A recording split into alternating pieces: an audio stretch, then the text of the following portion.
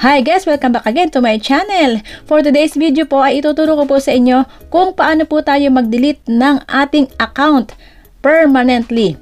Yes, personal account po ng ating Star Maker account. Okay? So, paano po ba mag-delete? Napakadali lang po mag-delete pero syempre po, mayroon po tayong susundin na mga steps. So, konting abala lang po yan pero kung gusto mo pong malaman, tapusin mo po ang video hanggang dulo dahil papasok po tayo sa ating recorder. Then, ituturo ko po sa inyo step by step. So, please stay tuned!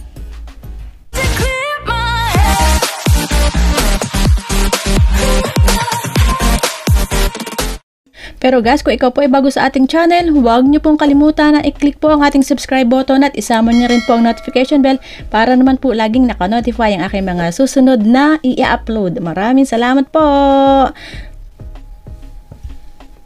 Welcome back again. Ayan. Shoutout po muna tayo. Dito po kay I, I need your respect. Ayan, yan po ang uh, kanyang uh, message. Nagawa ko po ito as of now, July 14, 2021.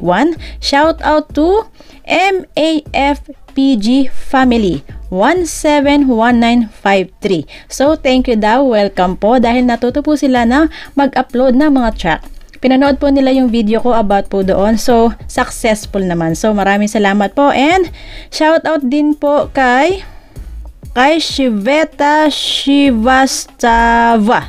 Ayan. So, ibang lahi po siya. I thank you so much. I just get stressed. How can I delete? But you can make the totally, you can make me totally stress free. So, hindi man niya naiintindihan yung ating uh, video, no po, pero na kumbaga nasundan po niya through doon po sa mga actions, ayan, nasundan po niya. So, thank you po din at uh, tinatangkilik po nila ang ating video kahit ibang lahi po sila kahit hindi nila maintindihan yung ating language. So, balik na po tayo sa ating topic. Okay? Uh, shout out po din kay Mama Pretty Cool Cool Frost. So, ang sabi niya, ma'am, pwede pong mag-delete ng account, customer service center, then feedback account, uh, profile, message, then click account. Andun po ang delete. So, thank you sa'yo. Dahil, kung hindi dahil sa'yo, hindi ko siya makikita. So, pinanood ko uli yung video na ito, yung uh, kinomentan mo. So, iba yung ating, uh, iba yung aking vlog noon So, pakikita ko po dyan, yan yung mga screenshot. Diyan po ako nag-base. Okay? Hindi po ako nagbablog ng walang basihan. Ano po? Pero thank you Miss Pretty Cool dahil uh, dahil sa iyong uh, comment ay ako po ito na po ginagawa ko na itong vlog na ito and then ituturo ko naman po sa inyo sa mga hindi pa po nakakaalam yung mga lalong lalo na po yung mga baguhan natin na kasama. Okay? So meron pong kaunting uh, kaunting mga step by step na alam ko naman po na kayang-kaya ninyo na sundan. Kasi po, itong aking dating vlog na how to delete uh, a, uh, a uh, account um, Star Maker permanently, ang sabi ko talaga po, ang sabi ko po dito ay hindi po siya nadidelete dahil ayun nga po, meron naman po dyan na basihan na hindi po siya nadidelete, okay? Dahil dun po ako pumasok doon sa AFQ. So, ngayon po ay pupunta po tayo dito sa uh, customer service center, then feedback account, and then message profile. And then, ayun, click. Ayun, sunod-sunod na po yung uh, uh, instructions. Papasok po tayo sa ating sa ating uh, video recorder and then susundan po natin yung itong sinabi niya. So, inuulit ko, shout out sa iyo, pretty cool Frost. Maraming salamat dahil nagkaroon ako ng idea na puntahan yung sinasabi mo na feedback. Magkaiba kasi tayo ng, pinun ng, ng uh, pinuntahan kung paano mag-delete ng account. Ano? So, thank you so much po. Ayan. So, sa mga nagsusupport po, patuloy na naniniwala sa ating mga video, maraming maraming salamat po dahil pinapalakas niyo po palagi ang aking loob. Ayan. Thank you, thank you so much. Pasok po tayo sa ating recorder and then sundan niyo po at madali lang naman pong gawin. So, let's go and God bless po sa ating lahat. Dito na po tayo sa ating Star Maker account. Wow, congratulations ko kay si Wang. So, pasok po tayo sa ating profile. So, yung sinasabi sa comments, ayan, sundan po siya natin. Thank you sa iyo, CC.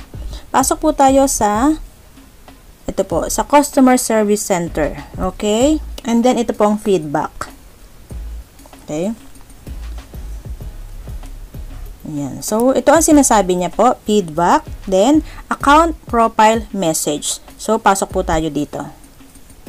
Then, i-click po natin yung account. Ayan. So, ito na po siya. Delete my account. So, ito lang po guys, susundan nyo lang po siya. Ano po, susu ay nyo pong sasagutin ang mga nakalagay dito na mga uh, detalye. So, hindi ko po siya pipil upan dahil hindi naman po ako magdi-delete ng account. So, mobile number, email, Facebook, or Google. So, ibig po sabihin, which platform you use to log in. Saan mo po daw inilalagin ang yung Star Maker? Kung sa, so, sa mobile ba, sa email ba, sa Facebook ba, o sa Google. Isa lang po yan ang chechikan mo.